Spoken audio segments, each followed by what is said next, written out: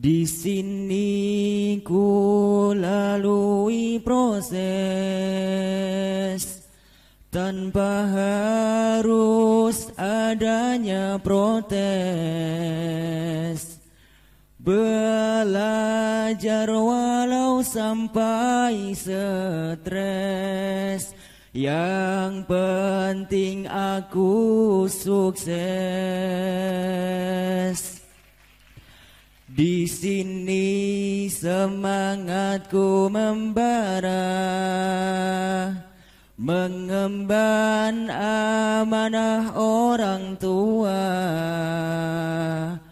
Kan ku buat mereka bahagia.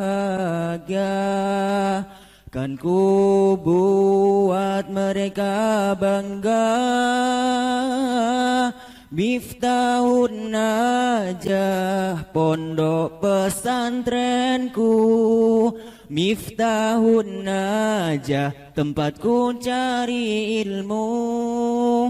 Walau banyak hafalan Bukan berarti beban Semua ini Jalan kesuksesan menuju impian. Bismillahirrahmanirrahim. Assalamualaikum warahmatullahi wabarakatuh.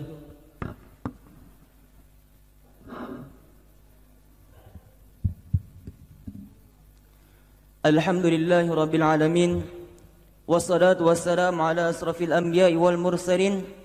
سيدنا ومولانا محمد وعلى آله وصحبه آل صدقه أجمعين أما بعد Yang terhormat Bapak Kepala Bagian Kesejahteraan Rakyat Seda Kabupaten Sleman Yang kami hormati Bapak Kepala Seksi Pendidikan Madrasah Yang kami hormati Bapak Kepala Kelurahan Trihanggo yang kami hormati Ustadz Cahyadi Karyawan selaku narasumber yang kami hormati pengawas Madrasah Aliyah dan Madrasah Sanawiyah Miftahun Najah Sleman yang kami hormati Bapak Ketua Komite Madrasah Aliyah dan Madrasah Sanawiyah Miftahun Najah Sleman yang kami hormati Bapak Pembina Yayasan Pelita Umat Yogyakarta yang kami hormati Bapak Ketua Yayasan Pelita Umat Yogyakarta yang kami hormati Bapak Kepala Sekolah Unit Madrasah Aliyah dan Madrasah Sanawiyah Miftahun Najah Yogyakarta.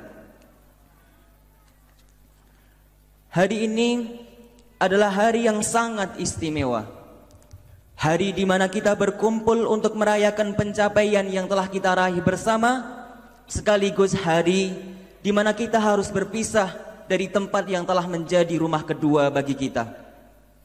Rasa-rasanya baru kemarin kita memulai perjalanan ini. Namun waktu begitu cepat berlalu.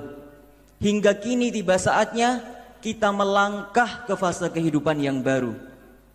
Pertama-tama dengan hati yang penuh dengan rasa syukur.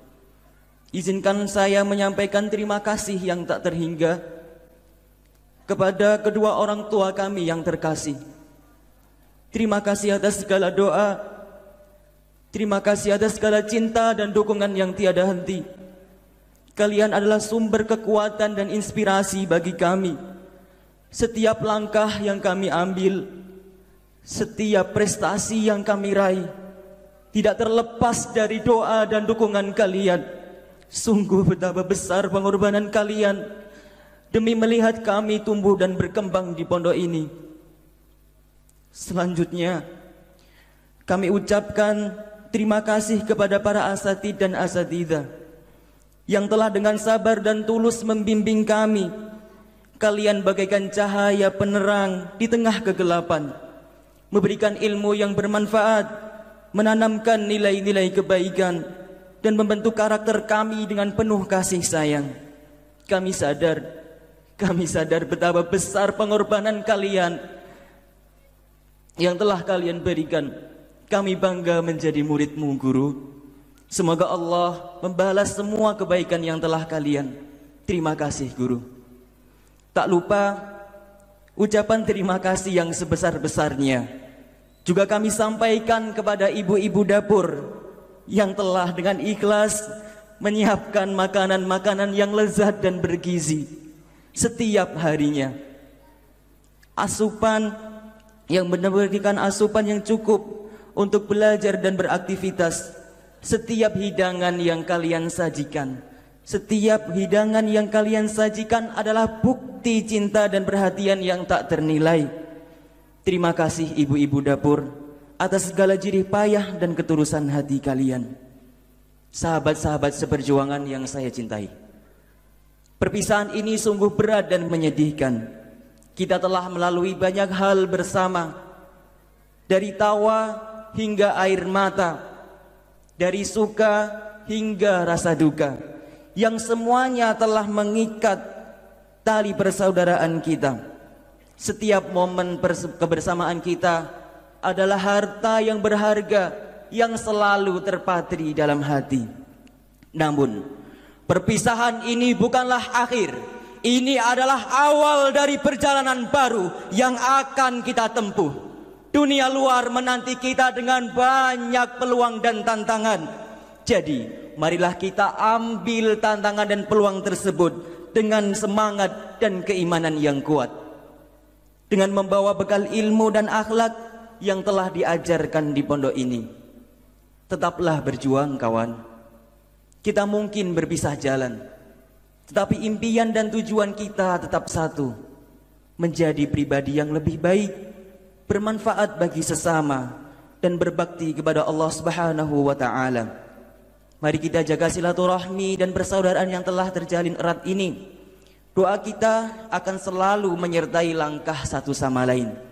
Semoga Allah taala selalu memberikan rahmat dan hidayahnya kepada kita semua, membimbing langkah-langkah kita dan menjadikan kita sebagai generasi yang bermanfaat bagi agama, bangsa dan negara.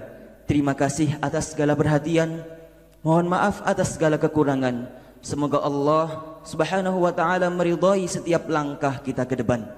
Wabillahi taufiq wal hidayah wa ridha wal inayah. Thumma assalamu alaikum warahmatullahi wabarakatuh.